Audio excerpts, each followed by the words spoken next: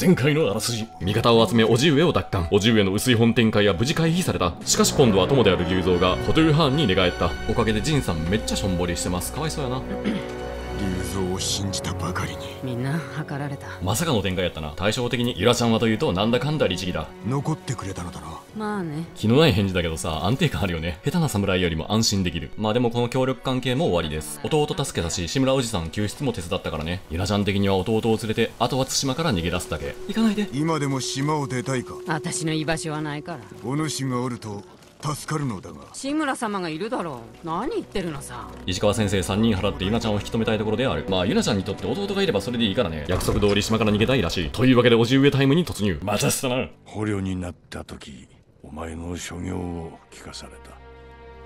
そのやりようは非道で誉れはないと。やり方気に食わない言うてるね。なんかしたっけな。対馬のボンバーマンとは俺のこと叔父上に指一本触れさせん。手竿をくらえお救いするため仕方なく。分かっておる。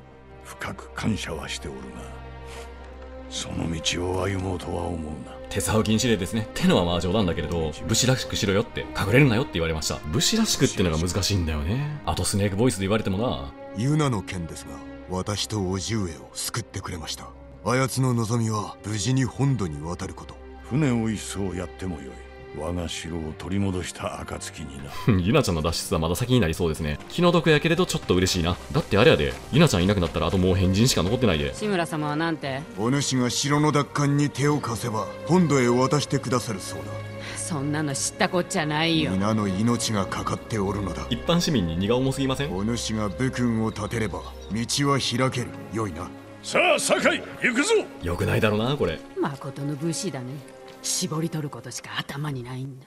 はい。プンス化してますね。対して叔父上は猛虎成敗に盛大に燃えている。目指すは豊玉だ。行くぞ。これより猛虎に武士道アタックを仕掛ける。二人で。へ へちょいと無謀すぎません？しかしこのおじさんあれだよね。猛虎に突撃してるか捕まってるかの二択ような。生活リズムが猛虎に依存しすぎてますね。早く誰かドクターストップかけやがれ。時にユナとはどのような女子だ。勇気と忠誠を備え腕も立ちます。なりわいは野党だと聞いた。卑しい身なれど義を知る女です。やすやすと心を許すなよ龍蔵のことを忘れたか。何やと？味方が頼むに足るかを知らねば。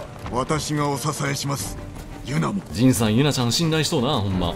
お前は一度故郷に戻り殿下の鎧を受け継いではどうだ？私には時期尚早かと亡き父も喜ぶぞ。これジンさん複雑やろな。ジンさんってね親父の死について誰にも本当のこと言ってないんですよ。本当は親父を見捨てて生き延びたんだけれどさすがにそれは周りの人に言えませんでした。武士としてあるまじき行為だからね。だから代わりに周りには親父が自分をかばってくれたと伝えていました。ジンさんが葬式出たがらなかった理由ってそれなんよ。みんなに合わせる顔がないからね。ましてや親父に顔向けできるわけもない。そら親父の鎧なんて着れへんやろ。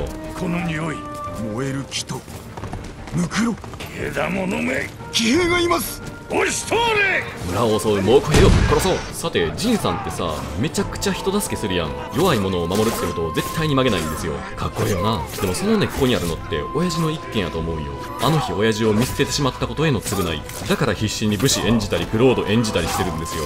なあほんま。渋い生き方しとるわ。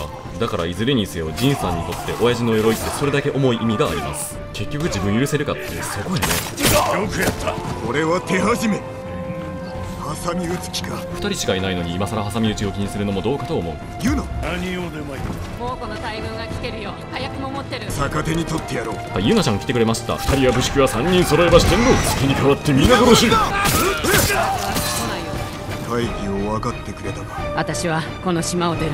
タカも一緒に。まだ住んではおらん参るぞ。かがり火隊の火を灯し金たぬきの勝利は始まりに過ぎんと猛虎に示す。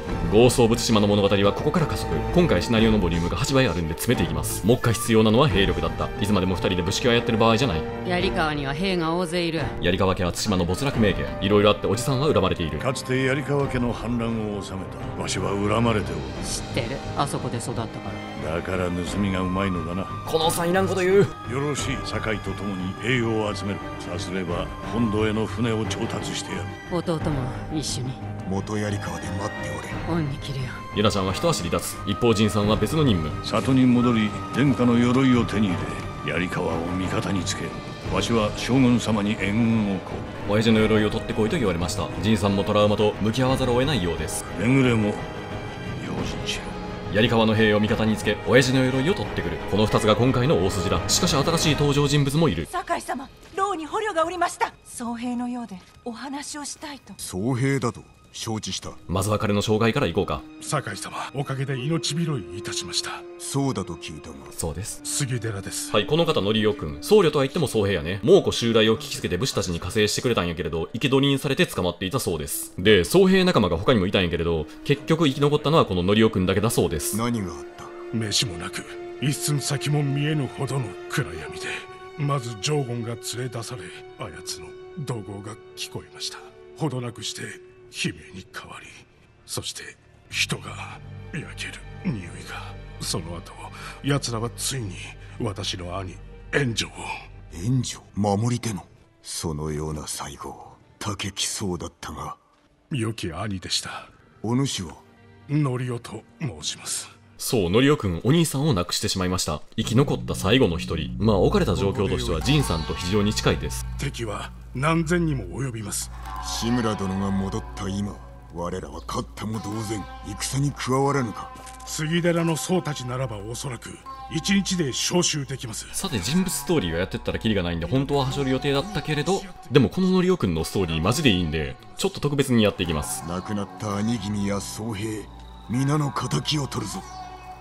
敵討ちではなく平和のために戦いますジンさんとノリオくん、置かれた環境に似てるけど動機がちょっと違うんだよね。さて、生き残った僧侶の協力をまずは仰ごう。案内されたのはとある村。酒井様ノリオ他の僧はどこだ？聞けばこの村に方針という名の僧侶が来ていたそうな。で、みんなに薬の知識を教えていたんだけれど、モンゴル軍がやってきて、そのお坊さんをさらっちゃいました。行き先は？海岸の野営地北へ向かう猛虎の船はそこで捕虜を乗せるのですそんなわけでジンさん、また人助けしとんねん。酒井様この戦を終えたらどうなさいます？いつか故郷の近江に戻り再興するつもりだ私にもそんな気力があればこれまでの人生道は明らかでした悟りの境地を目指し仏に仕える。それでよかったのです。なら続ければいいだろう。入門したのは兄がいたからです。これからもずっと兄と共に修行してゆくものだと思っていました。こんなことになるとは。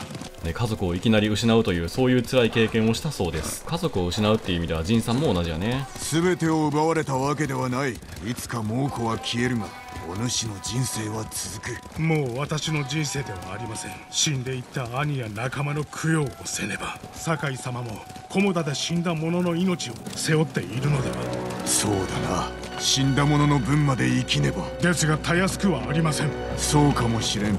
猛虎襲来前の人生が遠い昔のように思えます。人事のように。20年も経てば今日のこともそう思えるジンさんがこのセリフを言うってのが奥深いよね。ジンさん自身が過去のことを思い悩みながら言ってます。もっとそれ自分に言い聞かせてあげてっていうね。さて今から助ける方針さん。実は僧兵のことを非難してるそうです。まあ僧侶だけあってね、どんな人も傷つけてはいけない。そういう思想を持ってるそうです。いやー、わかるわ俺ガンジーやからな、基本的に。暴力とかほんと最低だよね。方針を見つけましょう誰か囚われておるなきっと方針です俺ならば兵に見つからずたどり着ける。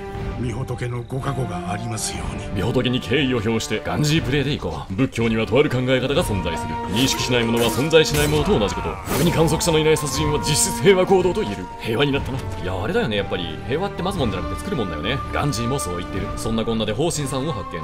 奴らが近くにいあいけない！犠牲者はいなかった。いいね。あなたはどなたです？ガンジーです。仲間だ。逃げるぞ。できません。猛虎が杉寺に連れて行ってくれます。あそこの人々を急ぎ治療しなくては。無駄口は聞かぬ。いけません。私は残らねば。なんか知らへんけどわがまま言ってるね。酒井様方針。ノリオなぜここにおる？近くの猛虎がのろしに気づいた。向かってきます。そうか。方針下がれ。我らが守る。ノリを頼むぞ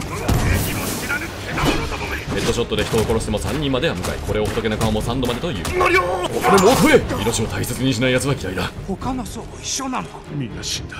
私だけだ。すまない。助けになればと思ったのだが猛虎は私を探していた。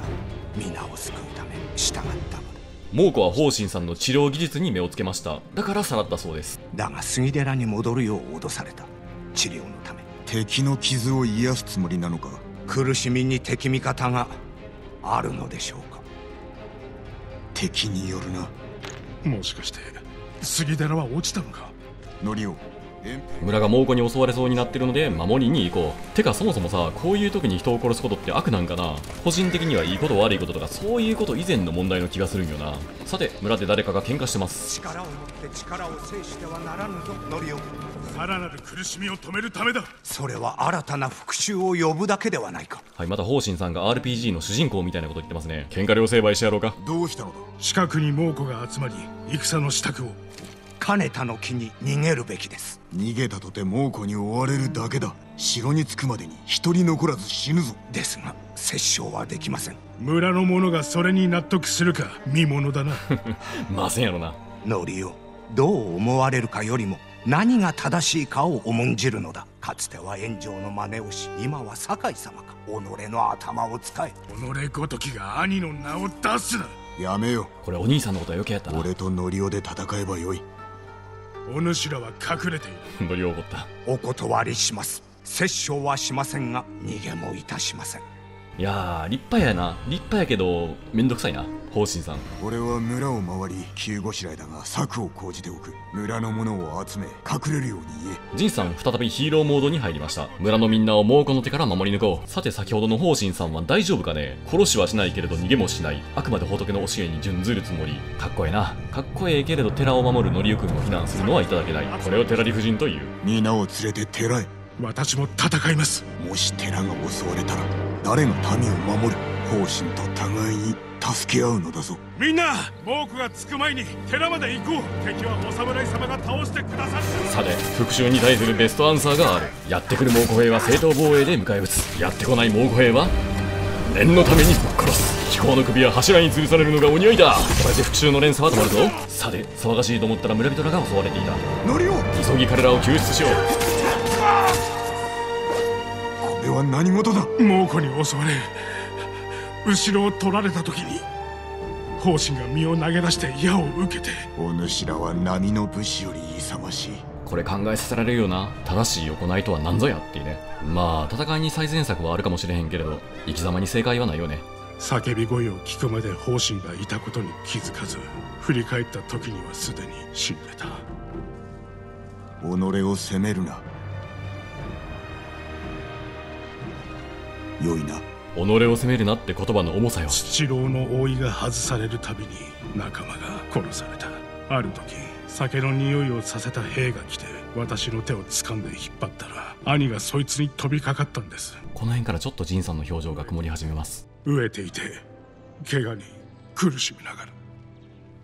私を守ろうと。ノリオもう良いぞ。いえお聞きください今のジンさんの良いぞはこれ以上ノリオのお兄さんの話を聞くのが辛かったからなんよ。親父の一件があるからね。私は残され奴らは兄を引きずっていった。杉寺から南へ火星に行った僧は皆死んだ。私を置いてみんな立派な僧です。私が死ねばよかったんだ。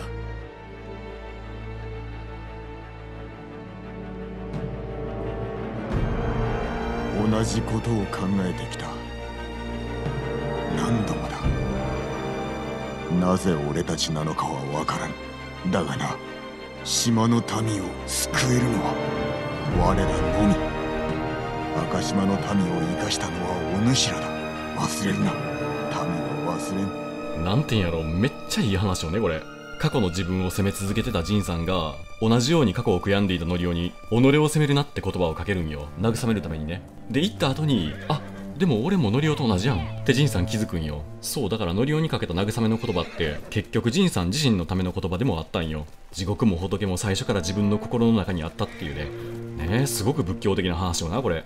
ねえほんまガンジーですよ。まあガンジーヒンドゥー教徒やけどさてメインストーリーを進めよう。ジンさんはおじ上の使いでとある男を訪ねていた。お主が五郎か。えだったらどうだったんだい？そういうあんた酒井と申す。なに侍はみんな死んだろ生きているか確かめるか。ジンさんの皮肉よ。だがその前に聞くんだ。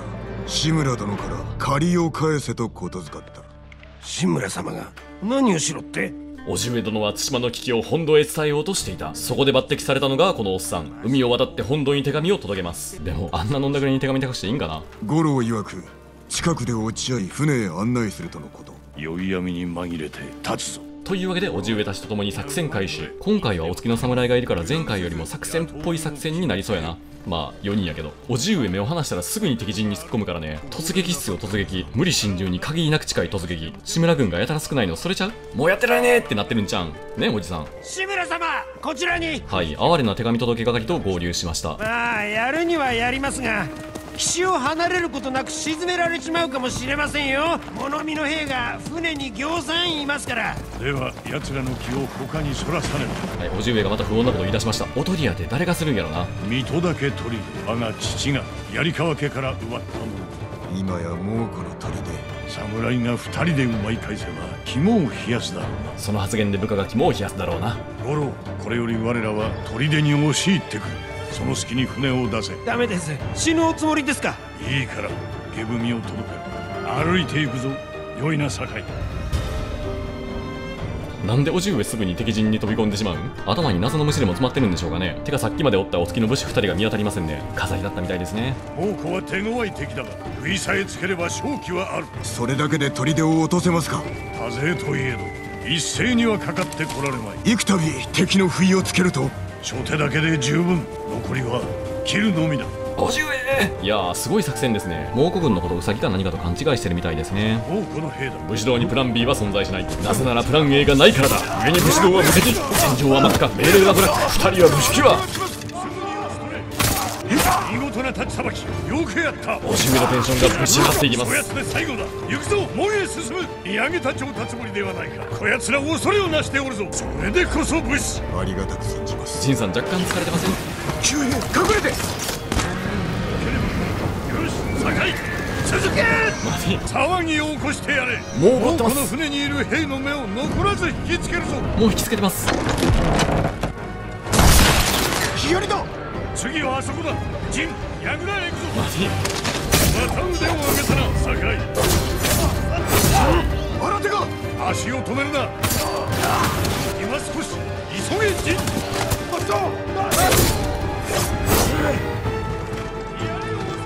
冗談みたいな活躍で拠点を抑えました。あと10人いたら世界征服できるやろ。とはいえピンチは終わってない。味方の船が猛虎軍に狙われています。奴らの船に追われればひとたまりもなかろう。いえ我らがおります。それにこのヒアリも。敵の兵器だぞ。それを使うと今は味方の命が肝心。操れるのだな。やってみせます。多くの船を潰せ。さあいやさやりました。猛虎の船が燃えています。撃ち続けろ。このまま距離を取らせショータイムだ。これヒヤリっていうかもはやミサイルの類だよね。あとこれ3つあったら猛虎軍制圧できるやろ。よくやった。ゲブミを頼んだぞ。やりました。さすがだち。一度ならず猛虎の狙いをくじくとは。叔父上の教えに恥じぬようにと。それどころではない。まこと立派になったもの成長したな。おじ上嬉しそうやな。あの下踏みには上心もしたためてある。お前を志村の跡継ぎにするとな叔父上。心中では常にそなたを跡継ぎと思っておったがこの戦が終われば世に知らしめる。いつの日か民はそなたを頭と仰ぐだろう。わしの後を継ぎ地頭となるのだ。将軍様の下事情によってな。私が務めを果たせるでしょうか。果たせるとも。いやーそうなんよおじ上があんだけ誉れを連呼してたのも仁さんを立派な後継ぎにしたかったからっていうね堺家の鎧を手に入れ槍川に加勢を頼む気のある友とやらも連れて行くユナに会い大見村で鎧を得ます終わったら我が久原の陣所に来るがその後共に藩から我が城を取り戻し対馬を救う父と子として将軍様も勝利を祝ってくだされ離れることになるがくれぐれもしろいや胸圧展開が続くね。こうね武士道をこじらせてるけれど裏には確かに仁さんへの親心があるんよ。だからお自由な気持ち組むんやったら仁さんクロードなんてやってる場合じゃないんだよね。ね。さて。いくら武士が強かろうが猛虎軍相手に2人では小勝負が悪い。だから対馬の残存勢力槍川家に協力を仰ぎに行こう。ただ槍川家と志村家って宿敵関係に当たります。だからちょっと協力大丈夫？ってはなってます。ジン待ってたよ。と先にユナちゃんたちが来てるようだ。なぜあの者らは町の外に？猛虎が槍川を囲ってて入れないんですよ。叔父上の宿敵と手を結ぶは難儀かと思ったがなるほどな。向こうも味方が欲しいんだ。うまくいく。ではまず猛虎を打ち払い助力を願おう。槍川の者と話したいが町に入れぬのではな。いや入れる。隠れ道があるんだ。それは子供の頃の話だもし残ってたってたどり着けないだろう。やるかいはある。タカ君弱気やな。それじゃ猛虎の陣立てを見られる場所へ行こう。猛虎が襲ってくれてるおかげで和解できるチャンスが生まれた。逆にラッキーやな。ちなみに石川先生なら村をおとりにしてたに違いない。この音ってどうしよう町へ向かってる。ここは待て。消えたね。こっちだ。ゆなちゃんとタカは槍川出身だ。でもなんか知らへんけれどタカ故郷を怖がってます。来るんじゃなかった今さら何さ。だってこんなところ。せやかでくど誰しもいつか故郷に戻る時が来て過去と向き合うのだ。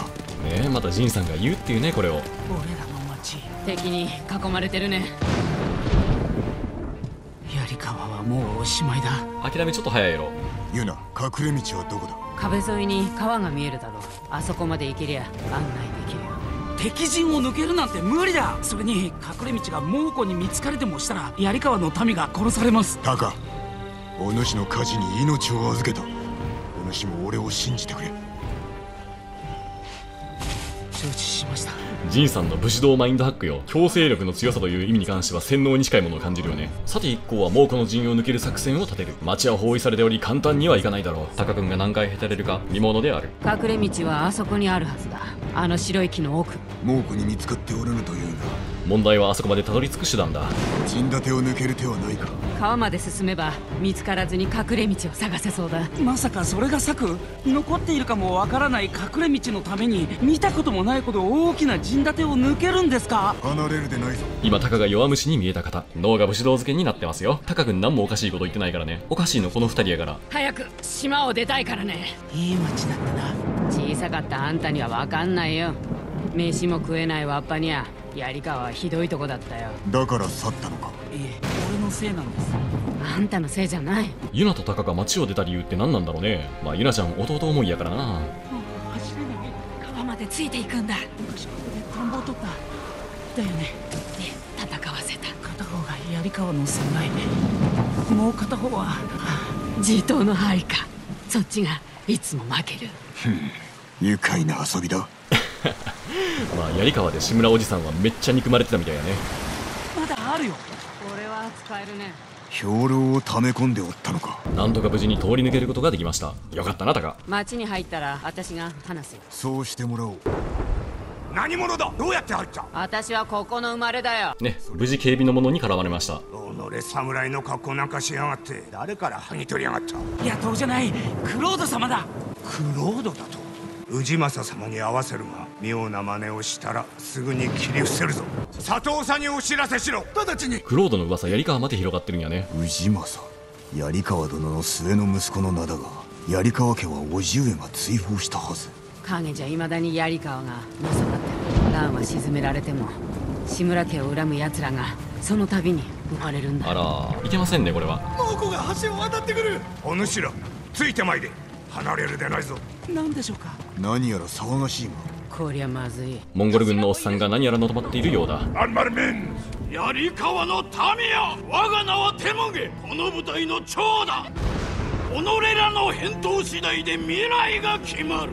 道は二つ。我らが黒旗を掲げる前にこの門を開けば情けをかけよう。さもなくば己らにむごたらしい死をくれてやる。どちらかを選べ長くは待たんぞ。モンゴル軍お得意の外交戦略である私のものになるか死ぬか。別名ヤンデレ外交という槍川が下れば叔父上は追い詰められる。心配ない。やすやすとは降伏しないさ。戦ったら町は血の海だ。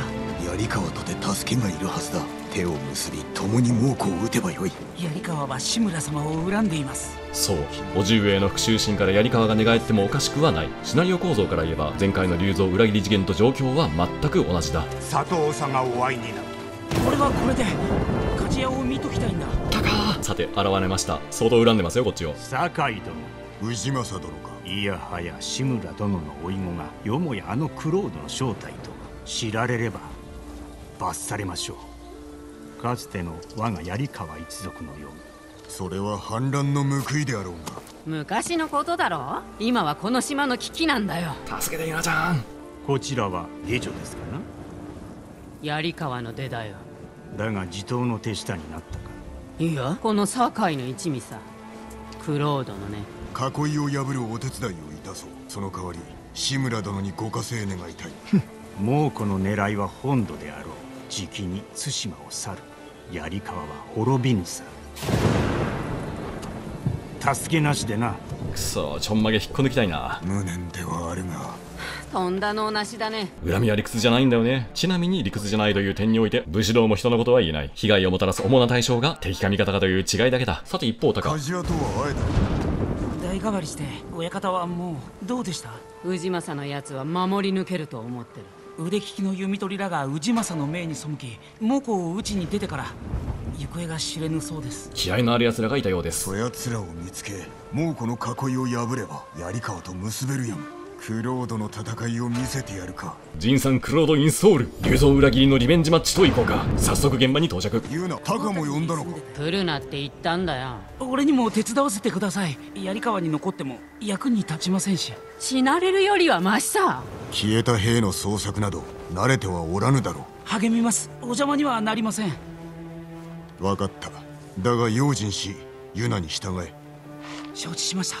そうあれだけへたれてたタカがここで勇気を出し始めるんよ。意外だよね。3人は消えた槍川の武士の痕跡を追う。関係ないけれどこういう犯人探しはタカが得意そうな気がする。探偵とか向いてるんじゃないかなここではコオロギを取ったな。よく来てたね。それに竹を編んでカゴを作った。なんでコオロギ取りしてたか覚えてる？いや。母さんから遠ざけるためさ腹を立てるとあんたに八つ当たりするから。コオロギに感謝しな。そうユナ兄弟の家庭環境めっちゃひどかったみたいだね、まあ、だからあんだけユナちゃんしっかりしてるんじゃないかな。黒い人成敗死ぬとこだったんだよ。タカはビビりやけれどそれ以上にユナちゃんタカのこと心配してるよね。矢尻に譲る弓取りはここにいた。もうこの火薬を盗んだのか。いい根性してるね。焚き木がまだ暖かい。近くにおるぞ。いました。あそこの丘を登ってるね。わけがあるようだな。はい見つけたんでちょっと話しかけようか。槍川の弓取りと見受けるが。話を聞くに兵糧を奪おうとして返り討ちにあったそうです。なんやろな。土までご飯盗もうとして成功した侍見たことないわ。他にはいないの？捕まったここまでおったが。我らも手を貸そう。弓取り仲間は猛虎兵に捕まっている。早く助けないと連れて行かれてしまう。っていうかこの流れ竜蔵の時もやった気がする。先回りして罠を仕掛ける方がいい。奇襲に向かない地形だね。元槍川はどうです？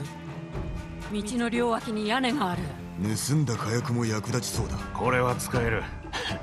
なかなかの策士ですな。よし猛虎より先に動くぞ。そうタカの提案が役に立ちました。やるじゃんタカ猛虎はこっちに向かってる。タカ小屋の中に隠れてて。嫌だ。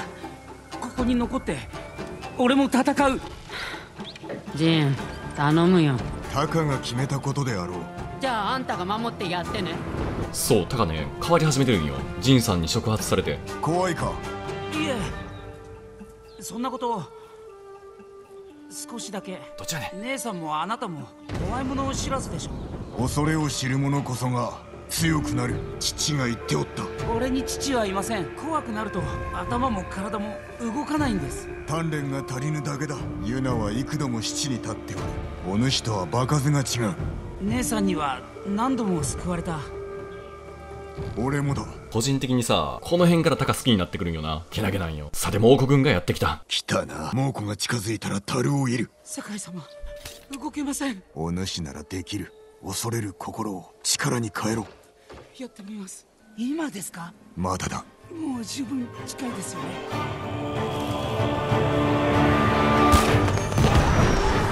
情け無用も逃がすな！まさかのタカが前線に助けが来るとはね。最初タカを助けた時もう無理。何しても無駄って言ってたのに成長するもんだね。俺最初さこのタカのことはね何やこのヘタレ！って思ってんけど180度変わったね。ああやつやなってな。ねそれもこれもジンさんの影響を受けてのことでしょう。まさに武士道パワー。酒井殿よくやった大黒。仲間を連れて槍川に戻れ。直ちに。いやはやまさかあなたがあのクロードとは思いもしなかった共に囲いを破ってはくれぬか。氏政殿次第だ。わしが取りなそう。大黒さんがあのバカ殿に話を通してくれるそうです。やったぜ。タカ悪いけどジンと話があるんだ。槍川で待ってる。やったよ。やったよやって。嬉しそうやな。さてユナちゃん。タカが死んでもおかしくなかった。落ちかけたし。ああタカ君のことで怒ってるようです。しかし見事にやってくれたぞ。置いてくればよかった。ユナ心持ちはわかるがタカは赤子ではない。あの子は戦えない。素質はある。あんたは何も知らないだろ永遠にかばってやるつもりか。赤のことは私が決める。口を出すんじゃないよ。これタカが下手なのもユナちゃんのせい半分入ってるかもね。もう戻らなきゃ。囲いを何とかするんだろう。街で会おう。ユナちゃんブラコンやもんな。お姉さんってよりもお母さんだしなうん。ちょっと過保護の度が過ぎてるんよな。それに発揮する機会が与えられなかっただけでタカって実はできるやつなんよ。自分で知らないだけで。酒井様お戻りで。タカお主のおかげで槍川も戦えるかもしれん。礼を言うぞ。ありがたいお言葉。モコが騒がしくなってきましたね。我らが手向げをなぶったからな。復讐に燃えておろう。攻めてきますかね。今夜ではない。だが我らを寝かせず明日疲れたところに仕掛けるはず。今のうちに休めヤンデレの手向けに死ぬほどモンゴル帝国されて眠れない対馬疲れたところを責められないようにしよう。ああそうだ。氏政様の館で姉さんが話したいって。バカ殿の城でユナちゃんが待ってるそうだ。酒井殿。町の守りは進んでおるようです。お主の働き大黒から聞いた礼を言う。おじ君への恨みは変わらぬがな。敵は猛虎。手勢なき今あなたが頼りです。猛虎の餌としたいのだ。この後に応援でそんなこと言うとる。槍川の民は勇猛で腕が立つと聞くそれを示す時では。考えておこ武士道ハッキング成功。来いよ氏政志村なんか捨ててかかってこい。さてユナちゃんが何か話があるようだ。起きておったか。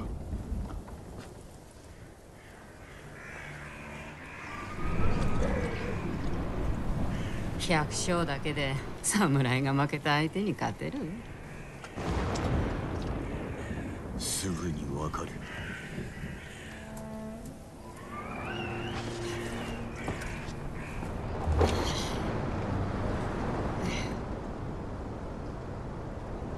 あんたも酔った方がいいね。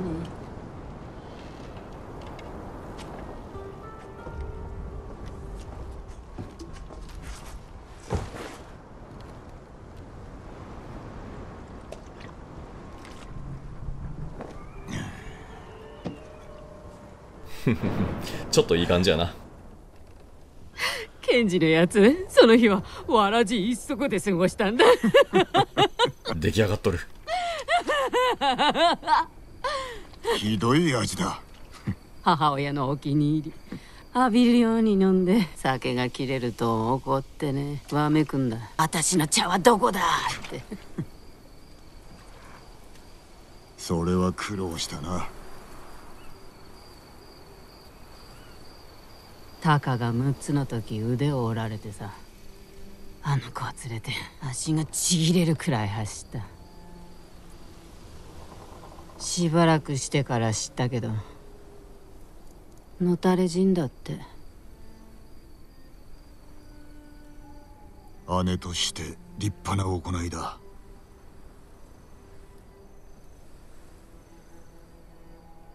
時として逃げることが何よりも勝る手立て。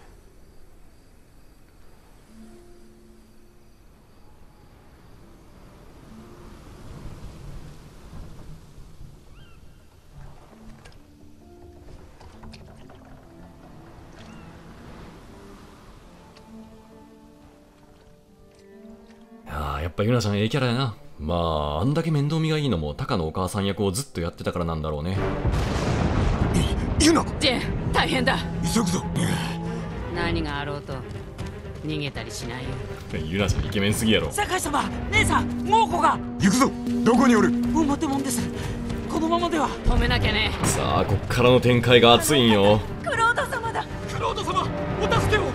タカ戦えぬ者を集め館に入れ。みんな急げタカほんのりたくましくなったね。成長したな。一生懸命だ。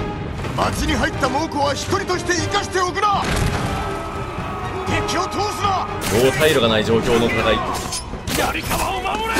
クロード様に近づけ因縁を越えて協力するっていうね。一人を通すな。猛虎を通すな。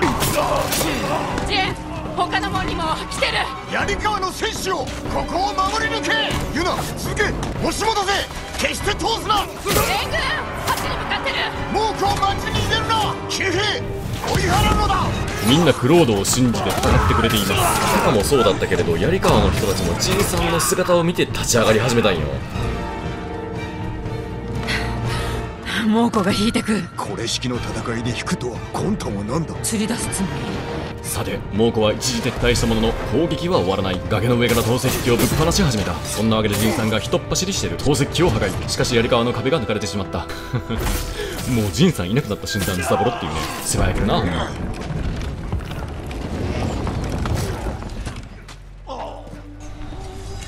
手向けかかってこい。現れたか。己の首で恩賞をいただく。さあ敵の隊長テメゲと一騎打ち。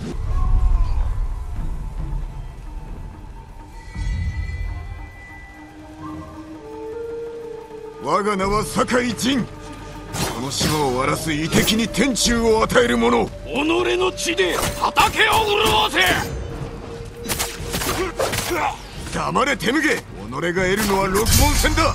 知れごとを調子に乗るなよ一応六門戦って言ったら三途の川の私ちんのことです。さあお互い小粋なことを言いながらの一騎打ち。手向けの炎の剣が地味に痛い大勢を切り刻んだと誇っておったらそれもここまでだ。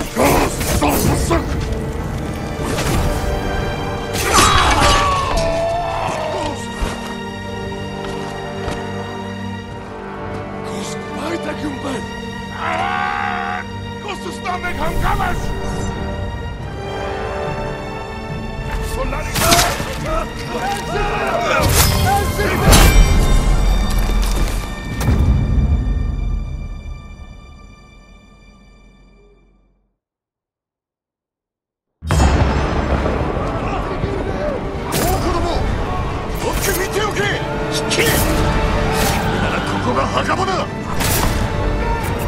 槍川の収容。一人として猛虎を生きて返すな。一人も逃すな。槍川を守れ。ジンさんついに覚醒っす。ここは鳥肌やばいね。戦意喪失してた味方もいけーってなってますよ。あれよね。満塁サヨナラホームランみたいな。もう絶対に負けない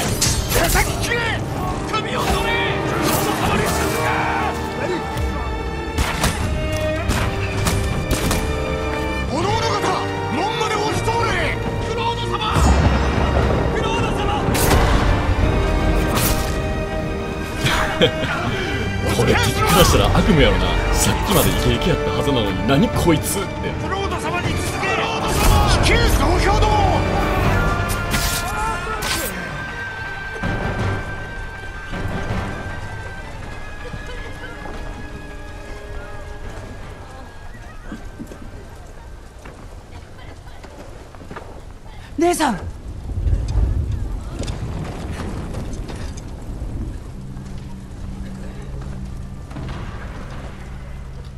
町は守った。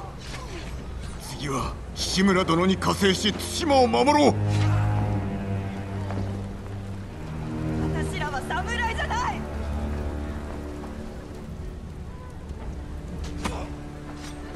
誰が猛虎を退けた。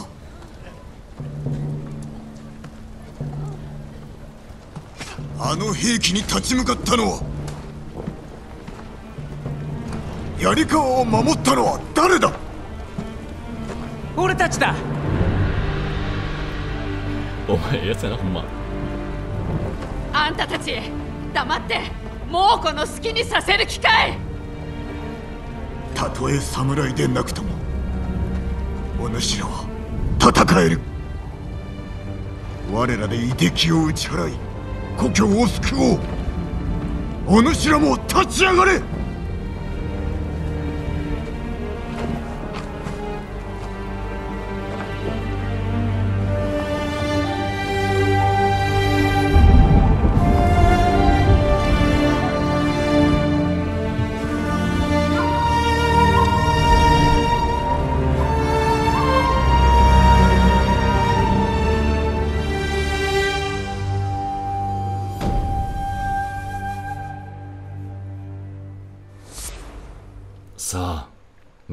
ろいろあったけれど最後に向き合わないといけないものがまだ残っていたね我が故郷近江村故郷に戻り親父の鎧を受け継ごうよし猛虎はおらぬかはい、ここがジンさんの実家です。結構大きなね、お屋敷やな。ただ鎧がないね。ここにあったはずなのに。どこだ？不届き者め若様はい、このおばあちゃん、ジンさんの乳母です。回想シーンで横で付き添ってくれてた人だね。亡くなられたかと。泣いてはる。ジンさん生きてたこと知らんかってんな。急ぎ戻ったぞ。久しいなユリ。お疲れのようで。飯の支度を。飯は結構だ。猛虎勢が村を通ったはずだが変わりはないか。毒が来たのに私が追い払いました。たくましすぎやろ。父上の鎧を取りに戻った菰田ではお使いにならなかったのに。あれから色々とあってな。鎧は隠しております。さあこちらへ。ああ体が重い。おばあちゃんがこんだけのお屋敷維持するの大変やろ。掃除してるだけで一日終わるわ。太一に取ってこさせましょう墓地にいるはずです。そこで何を？土を鳴らし毒草の世話をさせています毒は良いネズミよけになるのですよ話しぶりからするに会うのだいぶ久しぶりみたいやね。さて、言うまでもないけれどこの章結構重要な章です。ジンさんが親父のトラウマと向き合うっていうシチュエーションなんだよね。太一や鎧を持ってきておくれ頼む俺は墓に参るさて、ゴースト・オブ・ツシマにはいろんな要素があるんだけれど、その中でもすごく評価の高いのがこれ、和歌です。風景の中から歌を連想してつなげていくことによって一句出来上がります。今回のお題は受け継がれるものを思ってだね。まあきっとジンさんお父さんの鎧について今考えてるんでしょう。まあ今までトラウマがあったからな。ジンさんのすごいところはさ、似たような悩み抱えてる人を見て決して同族嫌悪とかそういうのにはならないところなんだよね。むしろその人を救うためにかけたはずの言葉が自分の悩みを見つめ返すきっかけにつながっているっていうな。この辺がゴースト・オブ・ツシマのシナリオがめっちゃ深いところなんよ。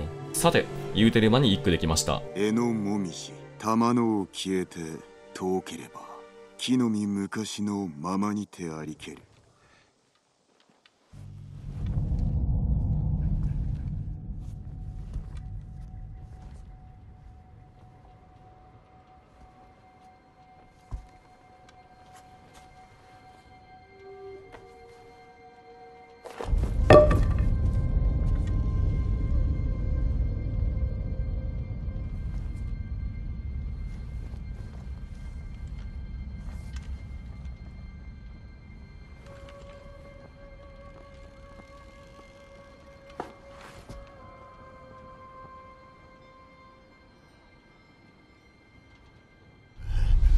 人。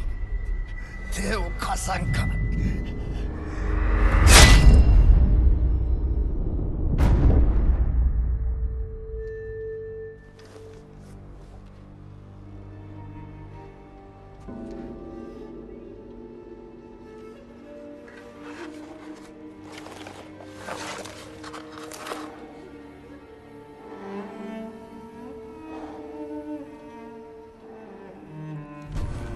親父の鎧継承するだけって思うかもしれへんけれど、これジンさんにとって大きな意味があるんやろな、きっと。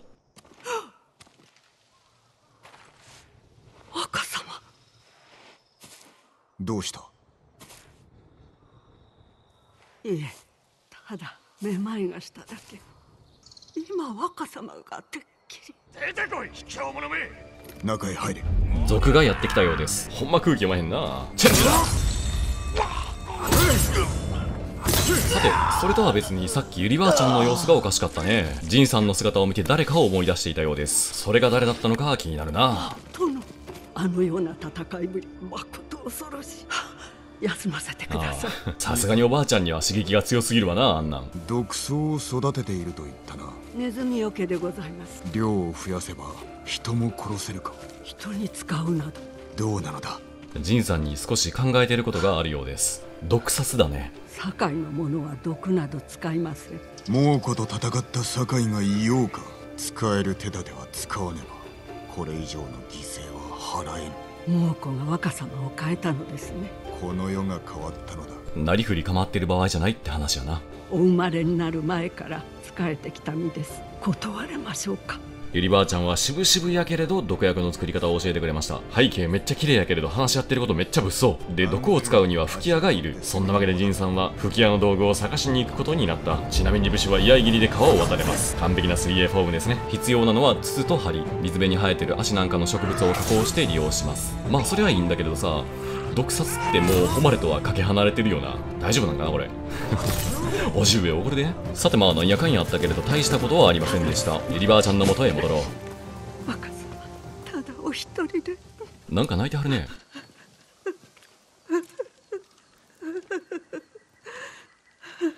ジンさんの星座から優しさが溢れてるね。ユリ。若様失礼いたしました。殿のことを思い出しておりました俺は忘れたい。殿なりの情があったのですよ。もう良いだろジンさんのもう良いだろうって翻訳するともうやめてだよね。まあジンさんとお父さん基本的にはあまり仲が良くなかったみたいです。さてそれは置いといて向かうは独走畑。若様と遠出できるとは。う馬の乗り方を教えてくれたな。あの子馬で若様は姿勢よく蔵にまたがって将軍様のようでした。こういうおばあちゃんと孫みたいなシチュエーションってさすっごい好きなんだよね。まあジンさんはおばあちゃんっていうかその乳母だけどね。まあいずれにせよこう大切にしなきゃっていう風になっちゃうんだよね感情移入して。あらあら若様。どうしたのだ？若様はここで志村様を殺めかけたのですよ。何？確か3つか4つの頃志村様が子たちの扱い方を教えてくださっていたのに若様は蝶々に夢中で。思い出した叔父上の目を打ったのであったな。志村様と殿は息ができぬほど大笑いされておりました。この前は手沢でそれやった。父上が笑ったとはな。お母上が病になられる前は若様にも笑いかけておいででしたよ。逆にお母さんの調子が悪くなってからはジンさん笑いかけてもらえなかったんだね。それちょっとジンさん気の毒やな。妻がいなくなったせいで心を閉ざしたようです。休んでおれ俺が積もう。種は毒です。食べないで。子供扱いはするな。失礼を。お母上に花を贈られましたね。母上は綺麗に飾ってくださったな。毒草を積んでるとは思えないほど軽やかな会話してるね。身を砕きのり状にしたら針を浸します。効き目は強いのか？納得いただけるか？他の毒も作れるのか？全く落ち着きのないお方。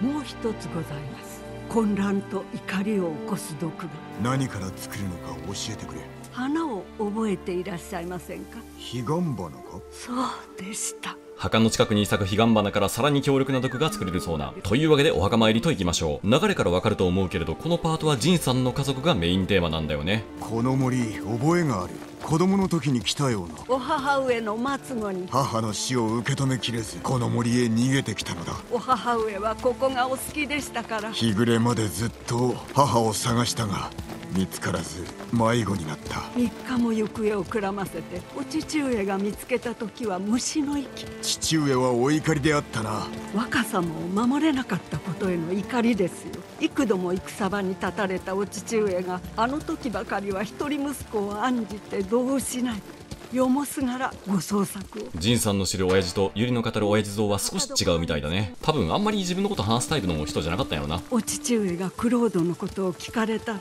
叔父上のように咎めるであろう。さようでしょうか。殿曰く志村様は頭が固すぎて本質を見極められないお方だと。殿は心が豊かでした。心が豊か？父上が？若様も同じでございます。なんか違和感あるね。どうしてジンさん視点でだけ親父は堅物に見えてたんだろうね。ユリ覚えておるか？確か俺が6つの頃この森の悪夢を見たことがあった。夢ではありませんよ。怯えていらっしゃったので嘘をつきました。誠か？男が叫んでおったな。あの夜従者と館に戻っていたところ賊に襲われたのです。賊とは穏やかではないな従者は震えておったろええ。ですが殿のお姿に。父上になぜだ？老頭と共に賊を追い払ったのですがすぐさまお一人で追いかけられてその後遠くから悲鳴が夜明け前にお戻りになられた時は全身が血まみれ殿をもののけと見まがう者もおったほどそれクロードやん。この湖に見覚えは？よく座禅をしに来たな 落ち着かなくて。お前は岩になれと申したが俺は泳ぎたくてな。岸からの眺めは格別です。若様こちらへこの老体を休ませてくださ話聞いてる限りジンさんと親父さんってめっちゃ似てるんやろね。ジンさんの鎧姿見てゆりばあちゃん驚いていたけれどもしかしたら親父さんと見間違えたんちゃう？なんかなそんな気がするわ。い今じゃ騒がしいのは私の方ですね この湖には良き思い出がたくさん詰まっております。騒ぐこの相手との？母君が若様を身ごもっていらした折よく散歩に。そろそろ行かねば。元服されてもまだ岩にはなれるのですね。また座禅に来よう。戦の後で。ええ若様そろそろ墓です。幼い頃は長い道のりだと思ったがあああるよね。子供の頃はあんだけ大きく見えていた故郷なのに久しぶりに帰ってくるとあれこんなんやったっけって思う現象。ノスタルジーやな。ただし様楽しき遠出にございます。ただしと言ったか？私が乗馬姿がそっくりですから。父上と出かけておったのか？馬の乗り方を教わっただけです。待て菅笠衆だお待ちを。毒をこしらえてみましょうゆりばあちゃんがこしらえたのは混乱毒。敵を錯乱状態にして仲間割れをさせちゃいます。しかし我らは規律を守ることで民の模範にならねばならん。武士の模範にもなる。猛虎が去った後この毒は無用。全て捨てるはい毒を打ち込まれた侍が獣と化してしまいました。まああの後ね見てると仲間割れし始めるんよ。まあこちらの仲間が増えるという意味合いにおいてはきびだんごのようなもの。お腰につけたきびだんごいりませんか争いはやめろ。喧嘩強成敗鬼退治完了。賊は根絶やしにしたはずでは。賊ではない。菅笠衆龍蔵の一味だ。なぜ龍蔵がそんなことを？それは俺にもわからねどうしましょう？志村家の墓所が心配です。調べていただけますか？遠慮は無用だ。見てみよう。そんなわけでいよいよ志村家の墓に向かうことになった。ユリ疲れたか？大事ありません。あなた様と湖で過ごした日を思い出します。何の話だ？俺ではないぞ。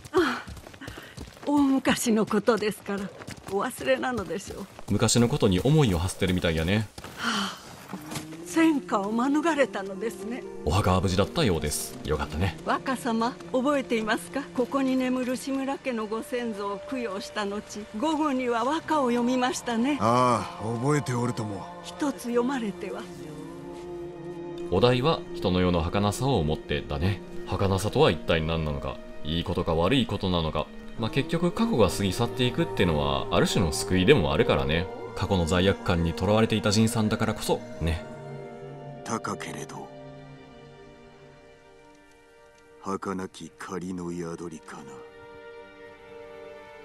草場の陰に花の絵にけ近江に戻ろう。私は残ります。言っても聞かぬか。若様賢くなられましたね。志村様は城に執着しすぎだと忠様はおっしゃっておりました。対馬の要だからな。力とは山のごとく大きく不動のものだとお考えなのです志村様は。確かに。決断が鈍れば兵は乱れるのみだ。戦の最中大将は何事にも動じず強くあらねば。なれど滝をご覧あれ動かざる岩は全て水に削られる。力は我らの周りにございましょう。ああ殿急にゆりばあちゃんの調子が悪くなったようです。風が冷とうございまして。ゆり病か。まさかとんでもない。赤島に参ろう。クス氏がおる。他に参るべき地がございます。どこだ？近くにございます。クス氏のもとへはその後に参りましょう。分かった。だが病ならば進路を赤島に変えるぞ。承知いたしました相変わらずお厳しいこと。ちょっとゆりばあちゃんの体調が心配やな。無理したらあかんやのに。参りたいとはどこのことだ？それは。言えないのか？秘密にございます。どこなんだ？ほらついてこられませユリセクナ！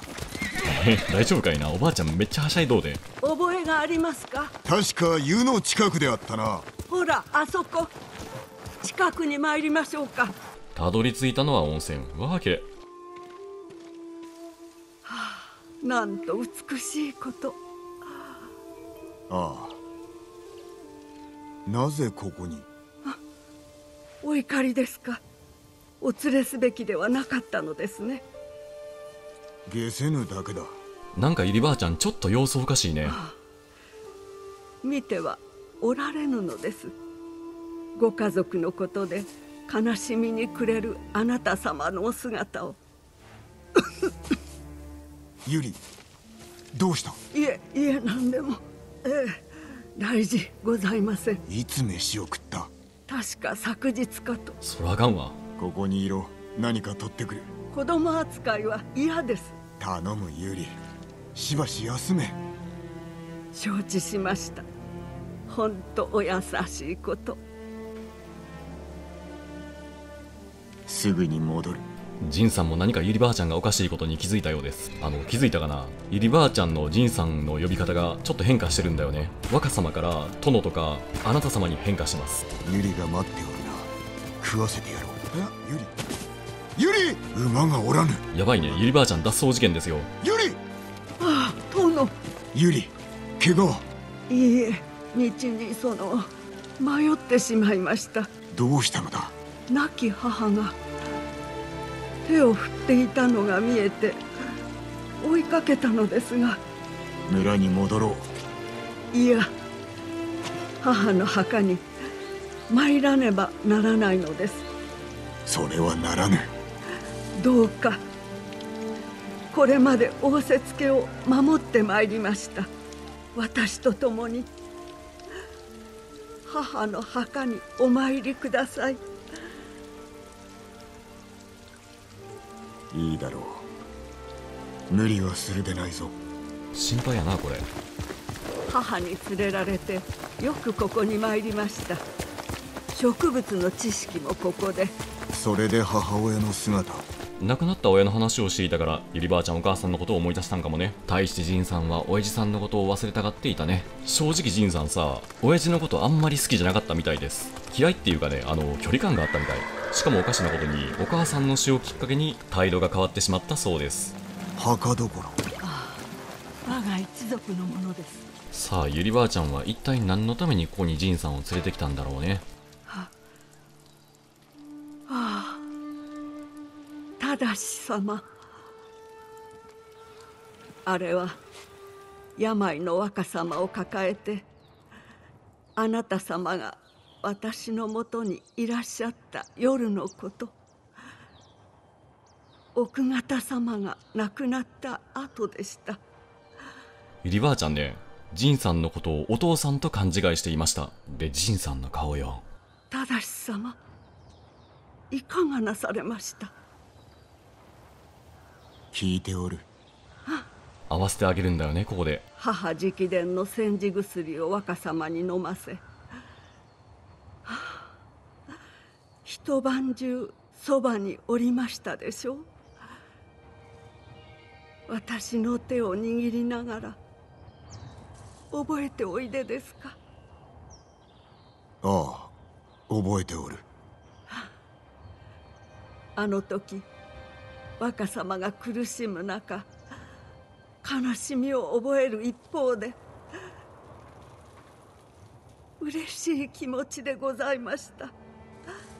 浅ましい女でございましょう。いや。ゆりばあちゃんねお父さんのことが好きでした。若様の病が癒えた後あなた様から馬を習いあの温泉に行きましたね。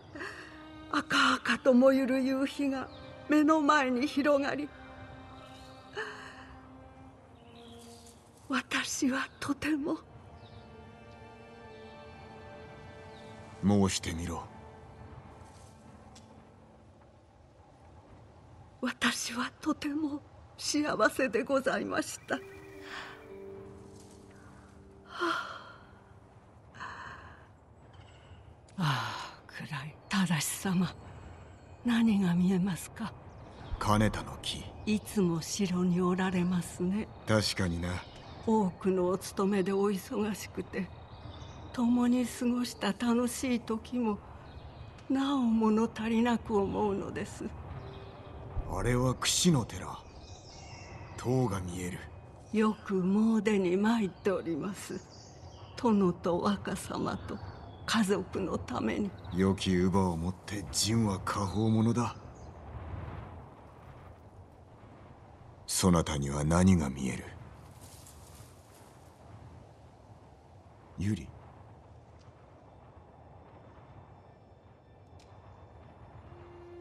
ここさお父さんのふりしたジンさんが代弁するふりしてジンさん本人の言葉をユリに伝えたんだよね。それを聞いてユリばあちゃんは言ってしまったようです。休むがいい。力は我らの周りにある。栄えた者もやがて滅びる。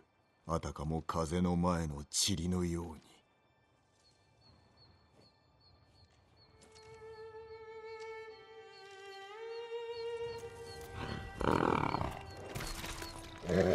ノブ。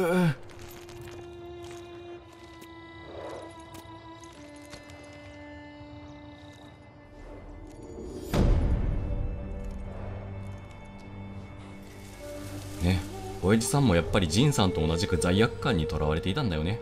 お母さんを守れなかったしまあユリの一件もあるかもしれない。さていかがだったでしょうか？今回は深くていい話が多かったね。面白かったら高評価お願いします。次回ラストこっからクライマックスまで覚悟しろよ。楽しみにしてください。以上ナルニーでした。じゃあね。